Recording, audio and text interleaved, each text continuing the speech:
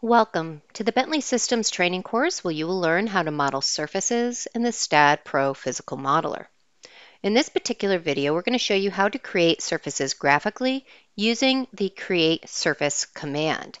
Now this command can be used to draw surfaces graphically by snapping to nodes or grid points in the view window.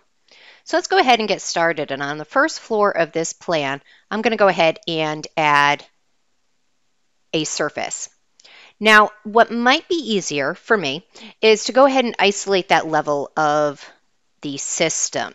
Now, I've already gone ahead and created some groups within this system, and that'll help me isolate certain plans or certain levels. To select a group, we're going to go to the Data tab in the ribbon toolbar and select the Groups icon. This will be available if you've already created groups in your model. Now, as a reminder, if you haven't created groups, you can do that through the Catalog tab in the ribbon toolbar. I'm going to highlight the group that I'm working on, and I'm going to click on the Select button, and then I can close the Edit Group dialog.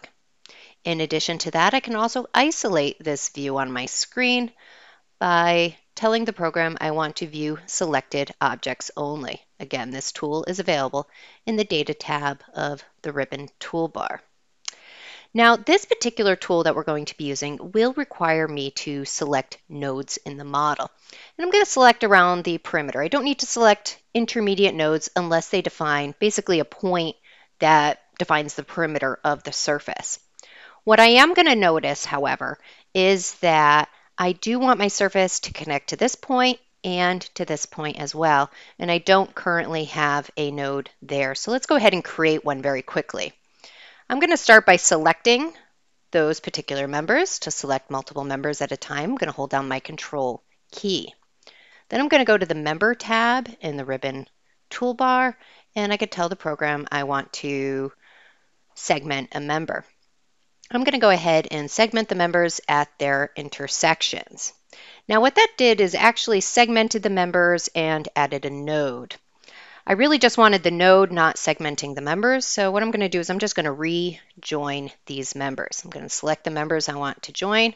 I can say merge, merge members, but keep the nodes. There we go. And now my node is available. Just going to go ahead and fix this up on the other side. So this is a good tool if you don't actually have a node where you're wanting one.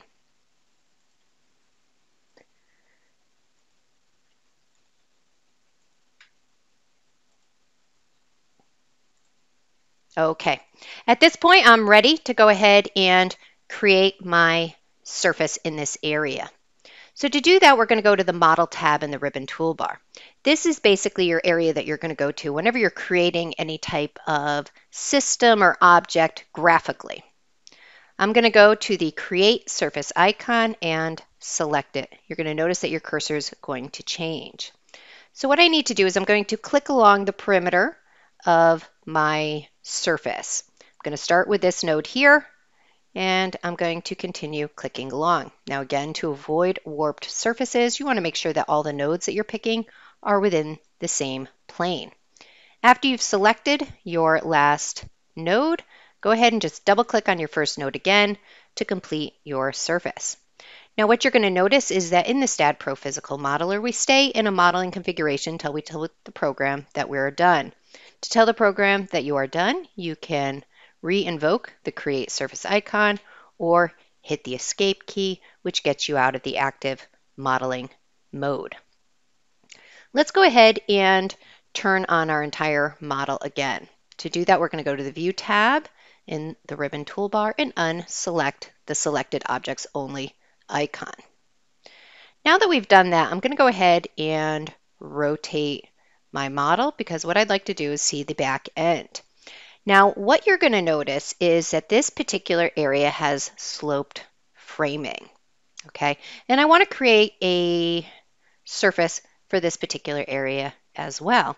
Now, since these are in two different planes, I do need two different surfaces to define this information so that STAAD Pro will have all the information in order to create that analytical model for me.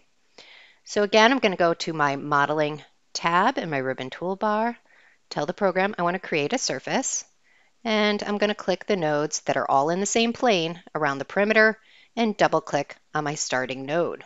If I want to reset my view, I can go back to an isometric view, and then as always, you want to save your model.